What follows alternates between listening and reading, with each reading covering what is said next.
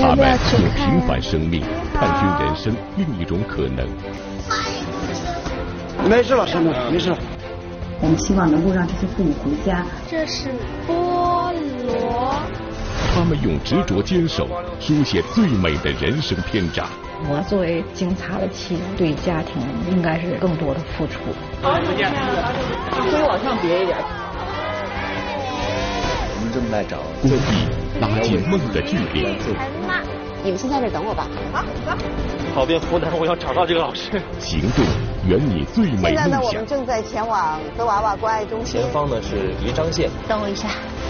那就是他了。哎呀，我也觉得。终于能够见到父母了，我的梦想。我的梦想。有更多的时间陪陪家人。你的圆梦成功了。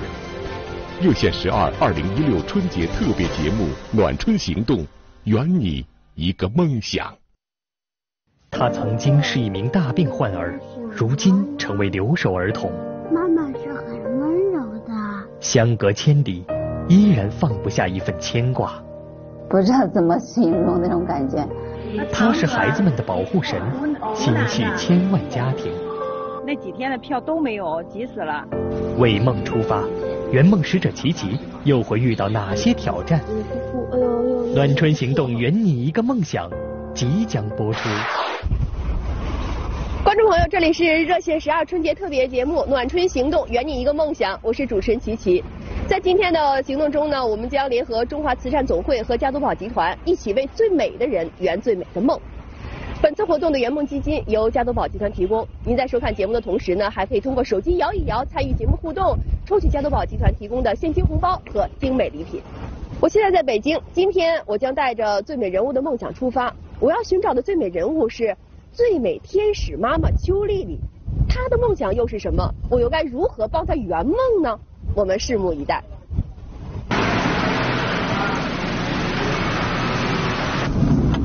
好，我们到了，这就是天使妈妈邱丽丽办公的地点了。哎，你好，邱丽丽在吗？我跟她那个约好了。啊，在在。啊，好好好，谢谢。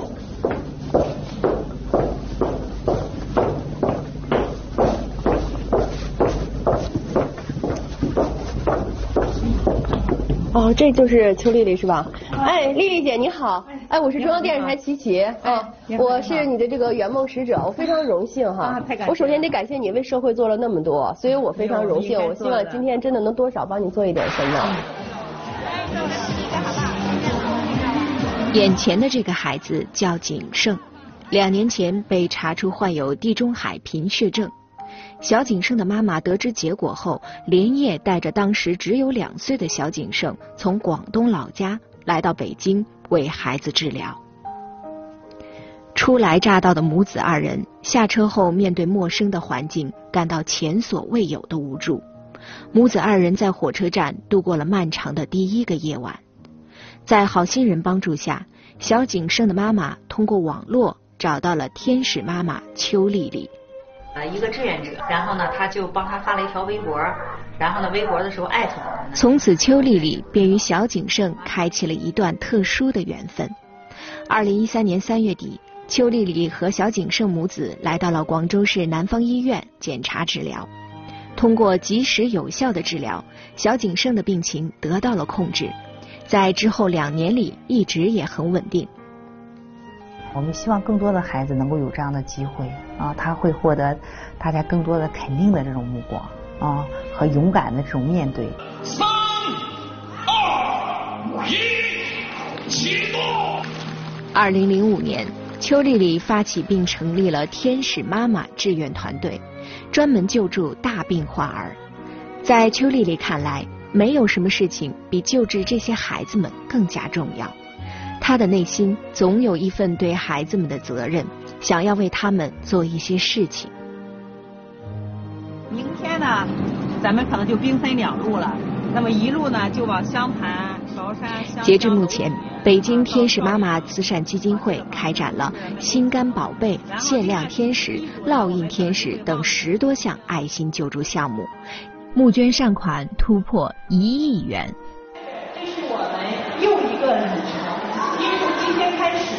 我们为第一次成功的为全来自全国各地的那么多的孩子举办了一次大会。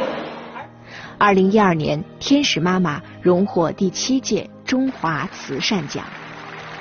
啊，我们需要更多更多的朋友，我们每一个人加入，就不会让这些孩子遗憾的离开我们，就不会让他们残疾。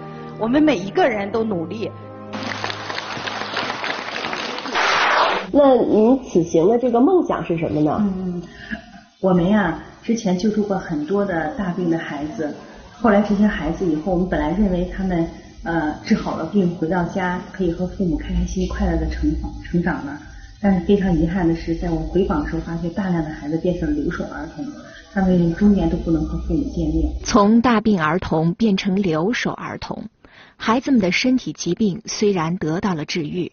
但是父母为了偿还债务四处奔波，家庭关爱的缺位给孩子们心理带来的影响，更让邱丽丽感到忧心。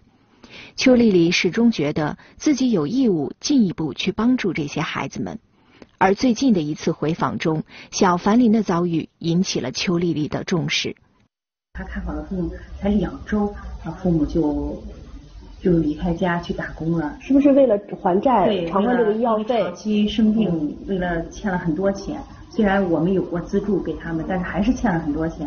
然后父母在外面打工，呀，一年都不回来，而且是春节都没有回家。然后现在又到了春节，又到年关了，我们希望能够让这些父母回家，能和孩子一起团圆，一起团聚。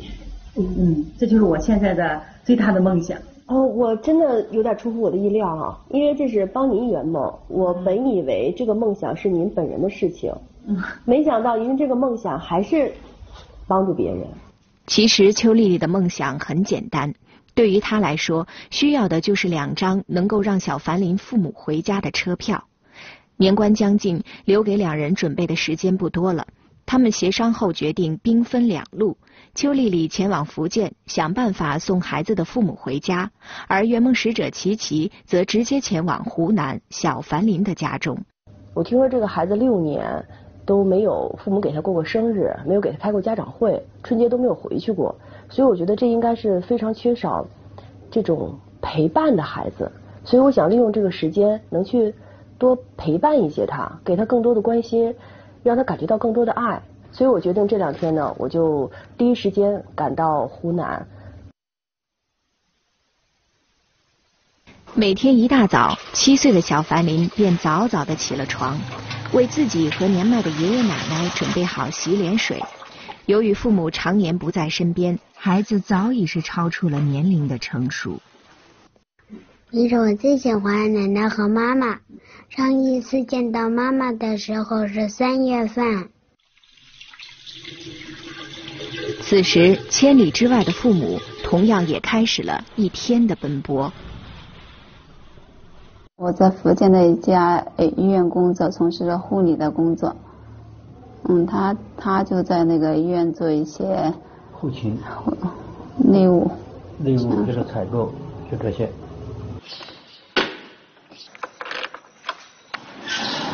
为了给食堂采购最新鲜的食材。樊林的父亲往往顾不上吃一口早饭，便骑着电动车出门了。洋葱啊，洋葱是不是？多少？十八块，十八块。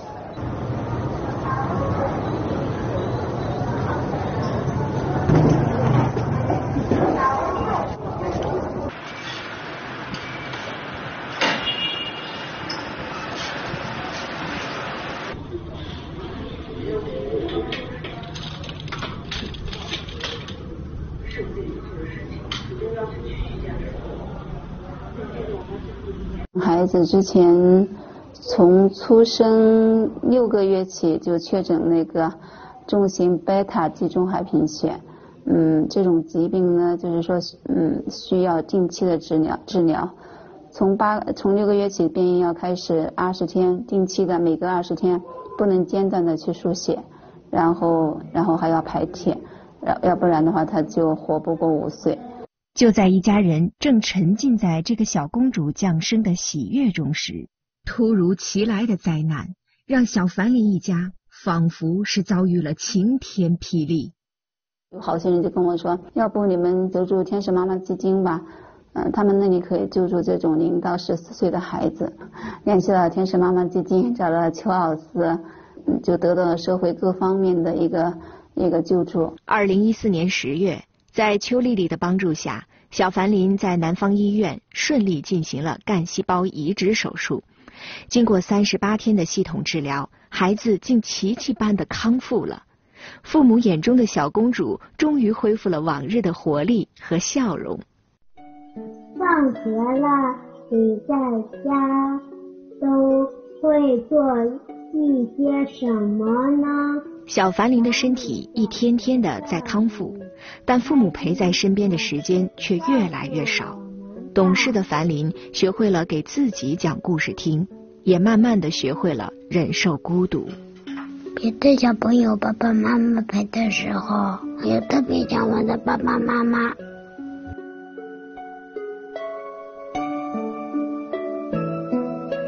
因为好久都没见到他们了。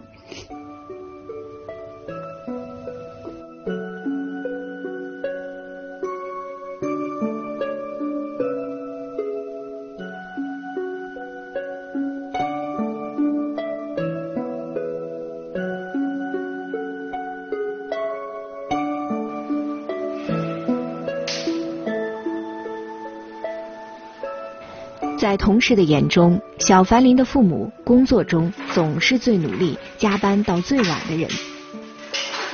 可他们并不知道，这份工作对于小樊林一家来说有多重要。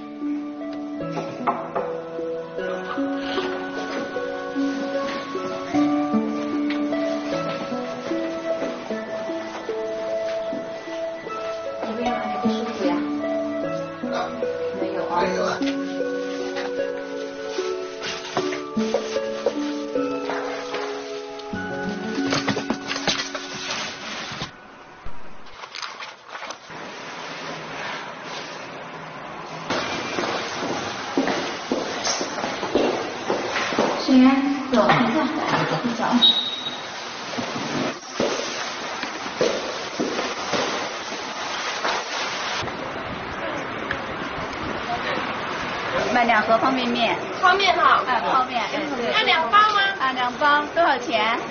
九包五块。要得五块吗？好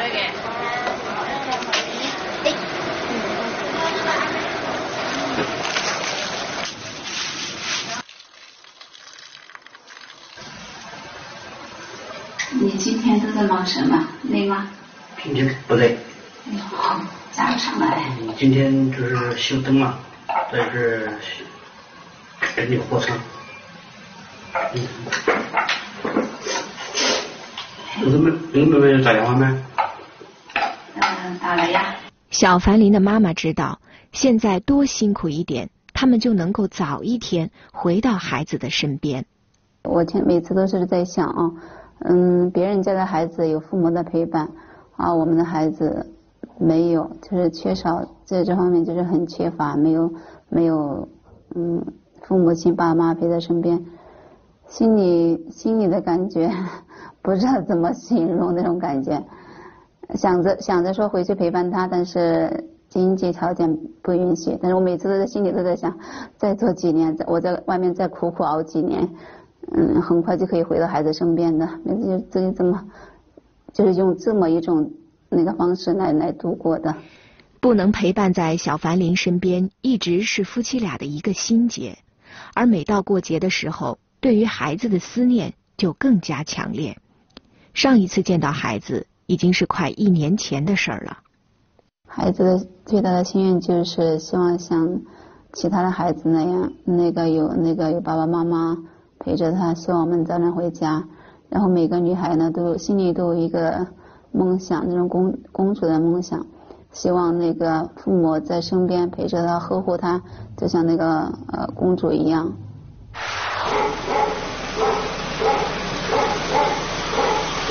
一路奔波，我们终于要到小凡林的家了。实际上，这路上我们浪费了很多时间，我很着急，希望能早一点见到小凡林，给这个父母不经常在身边的孩子更多的关心。我呢也特地选了一个礼物，呃，希望在我们不在的时候给他更多的陪伴。嗯，不知道他会不会喜欢。好，到了，前面就是沈凡林的家了，来，我们一起进去。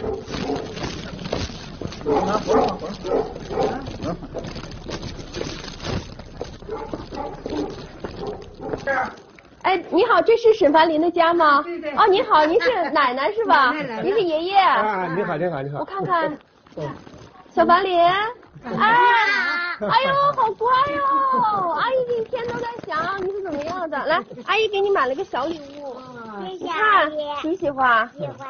啊，好漂亮，凡林。我觉得他好像跟我想象的差不多。实际上，我想象这个孩子缺少父母陪伴在身边，他应该是比较羞涩、比较内向、比较怕见生人的。死了，好可怜。这讲的是什么东西啊？是什么故事啊？是孩子跟爸爸的关系。父母常年不在身边，给予他陪伴和这种引导是有直接关系的，所以他是缺少父母关爱和陪伴的孩子一定会这样的。那是不是有的时候想起爸爸妈妈，都好像想不出他们长什么样子了？会不会？不会。那爸妈长什么样子，你就记得清清楚楚的。妈妈是很温柔的。嗯，爸爸呢？爸爸有时候我，我有时候哭，爸爸会逗我笑呢。他刚见到我的时候，真的是比较怕生的。比较害羞的，而且问他什么东西，他可能就是用点头、摇头或者最简单的回答来呼应你。他们是为了让你过更好的生活，所以他们因为不哭，哎呦哎呦哎呦呦不哭啊，哎呦不哭不哭不哭，哎呦哎呀再哭阿姨没法问你了，哎给你拿张纸啊，哭哭哭？这样爸妈非常爱你，跟那些孩子的爸妈是一样的，对你的爱是一样的，他们是为了。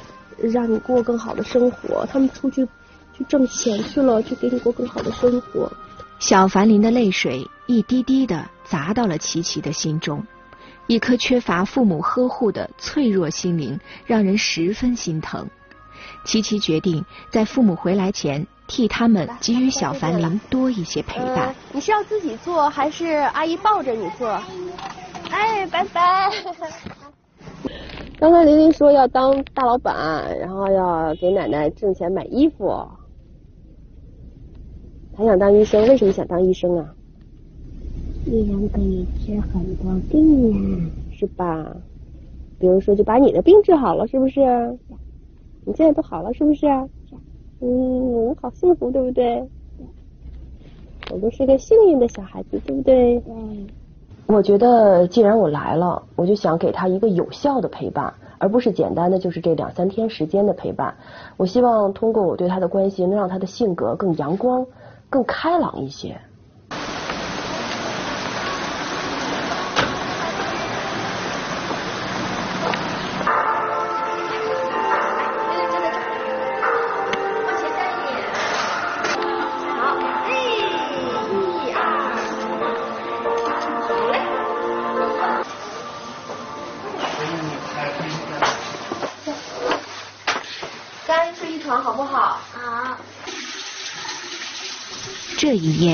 小凡林仿佛在琪琪身上找到了那种久违的安全感，睡得很香很甜。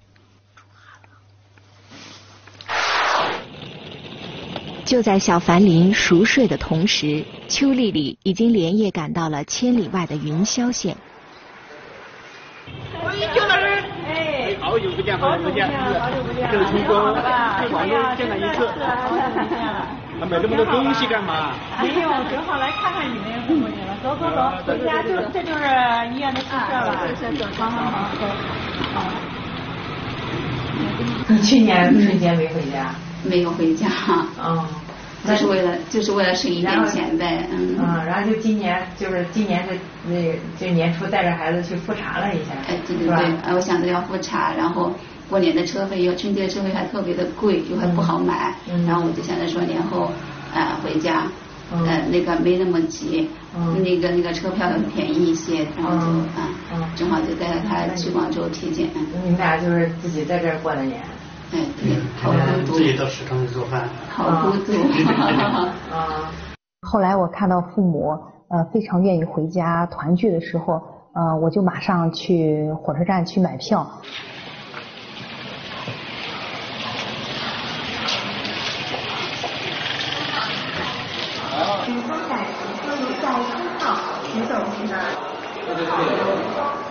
啊，常德，湖湖南的。为了两张回家的车票，邱丽丽想尽了一切办法，可无论是售票窗口还是网上订票，都是一票难求。为最美的人圆最美的梦，暖春行动圆你一个梦想正在播出。通过微信摇一摇功能参与互动。将有机会获得由凉茶领导者金冠加多宝提供的招财进宝春节大奖。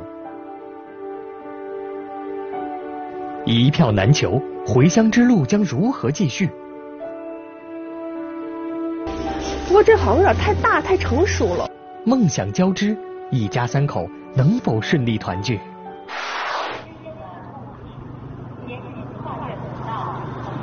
邱丽丽感到前所未有的无助。而此时，圆梦使者琪琪打来了电话。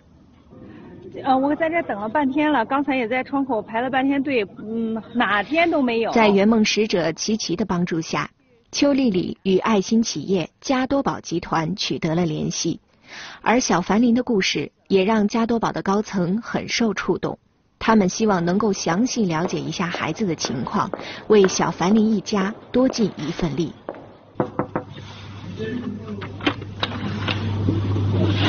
哎，你好，庞总，我是天使妈妈慈善基金会的保安员。哦，你好，你好，啊，前啊前段时间我同事跟我讲过，啊，啊，请坐，请坐，好。哎，庞总是这样子的，就是天使妈妈呢，现在是在帮助一个留守儿童，就是春节期间呢，他的父母回乡探亲的这样一个事情。嗯，我们是了解到的，就是加多宝每年都有一个春节回家这样一个公益活动，所以呢，我过来是想跟您沟通一下，看咱们加多宝能不能帮助这个孩子，嗯，实现他这个就是与春节期间与父母团聚的这样一个梦想。哦，呃，正好，因为我们呢是。啊，今年呢也是有一个这样的春节回家的一个公益的活动。嗯。因为这个活动其实到今年我们是开展了好几个年头了。据庞书记介绍，为了解决春节回家难的问题，从二零一二年起，加多宝已经连续四年发起了春节回家大型公益活动，通过爱心汽车、爱心大巴、爱心火车票等方式，帮助在外游子返乡。而今年，他们将着重帮助留守儿童的父母，让他们能够与孩子早日团聚。这一次的话呢，呃，我们应该是可以解决您这么一个呃提到了这么一个事情啊，我们能够解决。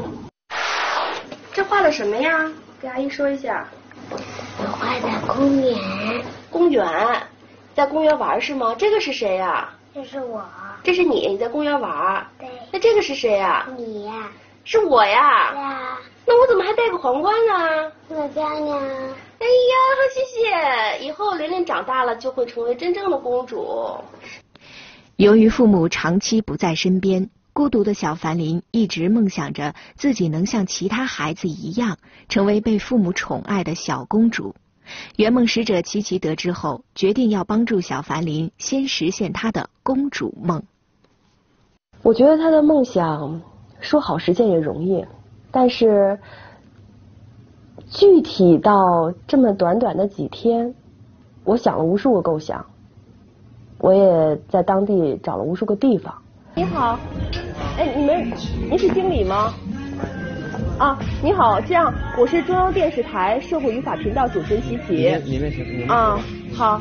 哎，你看这个小公主裙好不好？你看这个应该是儿童的，这个应该是儿童的。不过这好像有点太大，太成熟了。五十九元一件。厂家去买所有。哎，你好，您这那个场地我们看了一下吗？其实没有什么场地，就是很费劲。你很小是吗？照童照。儿童照。我就是我就是给那个孩子要拍照。我想看看咱们这场地、服装什么的有没有？没有。没有啊。一开始想的是儿童的这种摄影棚。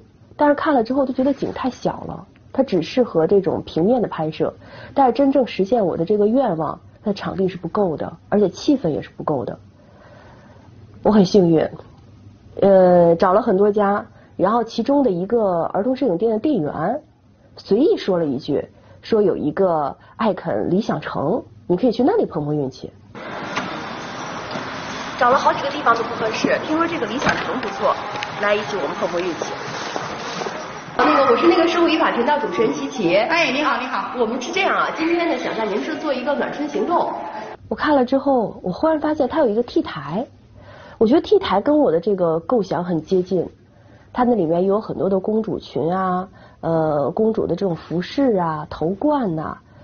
哎，我觉得 T 台那真的是掌声、灯光。大家的目光都聚焦的地方，她可以穿上公主裙哦，那一刻立刻觉得找对了，就是她。就在圆梦使者琪琪为了小凡林的公主梦四处奔走时，孩子的父母也终于踏上了归乡的旅途。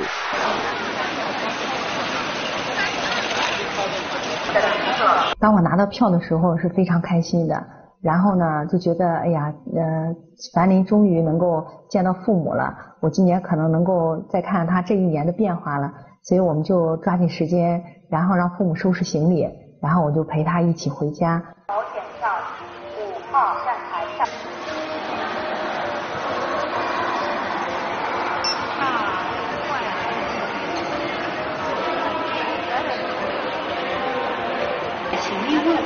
品到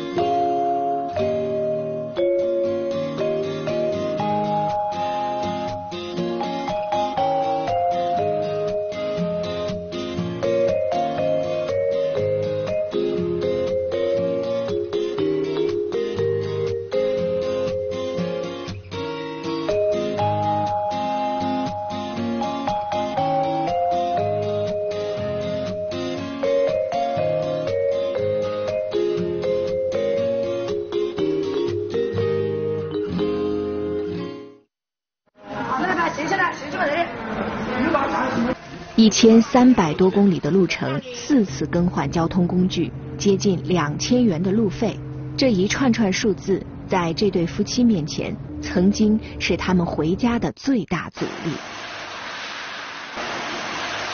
当我们回到了湖南常德的时候，呃，刚好琪琪老师在帮着小凡林实现他的一个小小的一个公主的梦想，呃，正好时间是呃赶到一起了。然后我立马带着父母就到了那个活动现场，因为呃在那个时刻，如果要是说呃孩子的梦想和父母的梦想能够共同实现的，我觉得对这个家庭呃肯定会是一个呃美好的一个回忆。这里好不好？认得什么名字吗？青少年福，知道了吗？里面有好多小朋友哦。此时的小凡林陶醉在自己的公主梦中，他并不知道，在圆梦使者琪琪和邱丽丽的安排下，一个更大的梦想就要实现了。没有。喜不喜欢？现在是不是小公主了？是不是小公主？等一下，重点是要笑啊！露出你的牙齿，走到前面的时候你要停留大概三秒钟的时间，摆一到两个动作啊。我们别着急，我们在这里啊，先等一会儿。然后呢，孩子们正在准备，他可能一会儿和其他小朋友啊有一个这个梦想秀的展示，他会走一下 T 台，实现他从小就有的那个公主的梦想。然后在最后的时刻呢，我们会作为观众过去看孩子们做这个表演，然后就能见到小白灵了。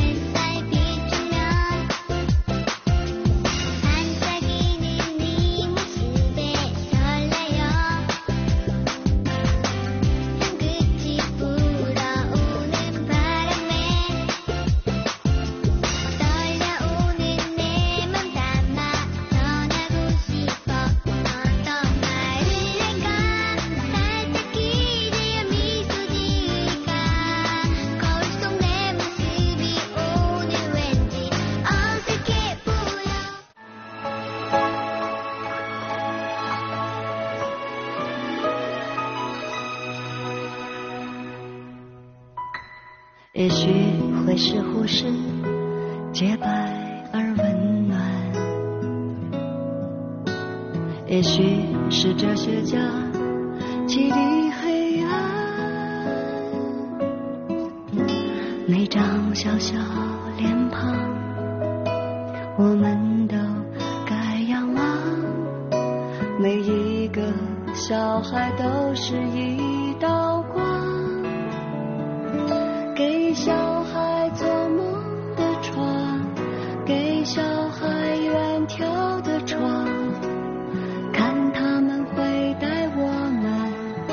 到多美地方。给小孩鸳鸯的饭，给小孩勇气的家。我坐在旁边，实际上我一直也在留意着他的父母。当孩子出现的时候，其实一开始孩子在台上没有看到他们，但我看他的父母，眼泪一下就出来，真的是一下就出来了。可能还没看到孩子，他们内心对于孩子的想念也好，愧疚也好，他们当时眼泪就出来了。呃，我注意到旁边还有很多人，其实他们可能不太知道这个我们的故事，不太知道他们的情况，但是都是家长，都是父母。那一刻，旁边很多人也跟着流泪了。我觉得很多时候有物质的基础，才能谈精神的世界。但是我们可以多想办法，尽可能的把这种物质的基础放在离家不太远的地方就可以实现。在家里面多找一些机会，在家乡多找一些打工的可能，因为孩子的成长就这么一次，错过了再也不会有了。给小孩勇气的家，这世界已不我看到孩子的那种感觉，包括他父母的那种感觉，其实我落泪了，真的是挺心酸的。沈凡这样的家庭，在我们救助过的这些家庭中，也是非常常见的。所以我希望能够通过我们的努力，能够去改变他们的命运，让他们能够免于死亡和残疾厄运的同时，也能够全家幸福的在一起生活，能让更多像这样的一些呃这种贫困的这种留守的这种家庭、留守的儿童，能够呃在他的成长的过程中没有缺失掉父母的这段亲情，啊、能够在他成长的过程中有父母的见证或者是父母的关爱。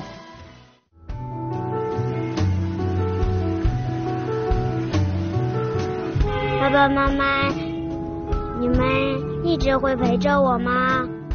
当然了，我们会一直陪着你的。我们会一定幸福快乐的。